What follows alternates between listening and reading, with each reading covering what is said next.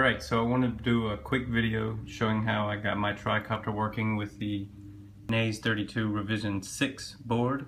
Uh, it's the one I ordered from Flight Test, the store. I actually ordered it unsoldered and um, I don't know if you can see there.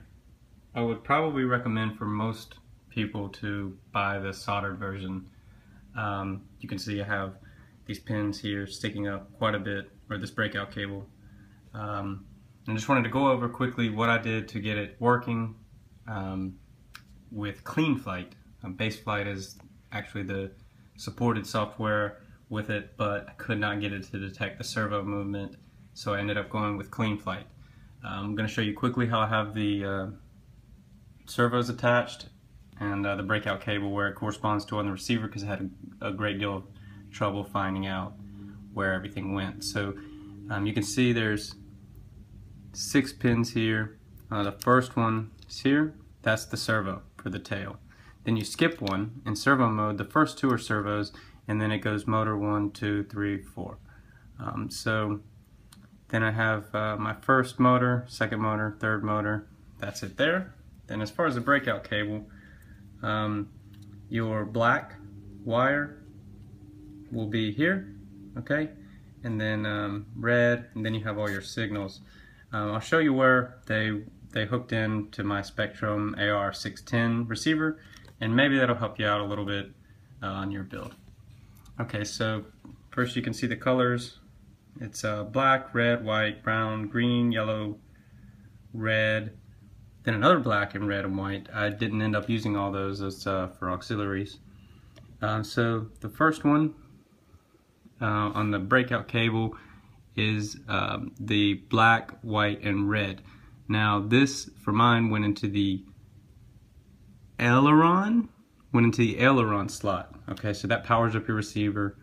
Um, all the rest of them are just one, one wire to go to your receiver. They're just signals. Um, so then the brown goes to the elevator. Um, see the green goes to the throttle the yellow goes to the rudder.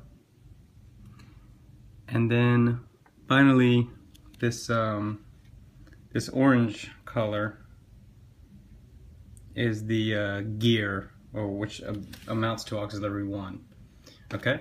So that's all um, that's all I really know about the Naze board but that's how I had it you know hooked up and wired up uh, to my receiver now, as far as um, CleanFlight goes, this is the build that I had to end up using. Uh, I tried BaseFlight, tried CleanFlight, um, but I had to use this, uh, I guess, nightly build is what it's called.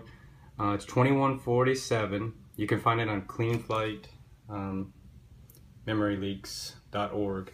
But the best way I did, or the way I found it was typing in Naze 32 revision 6 uh, and Travis. Um, you can see here Hydra, uh, the guy who maintains CleanFlight. Um, build 2147. Um, there's the link for it. If you want the uh, URL, you can post it with the video. But yeah, that's it. Uh, doesn't fly great yet, but uh, still tuning it. It's a little bit tricky with this uh, yaw servo. And just, if you were wondering, this is an Armattan 258 tricopter I bought from my buddy. All right, thank you. Hopefully uh, that helps somebody.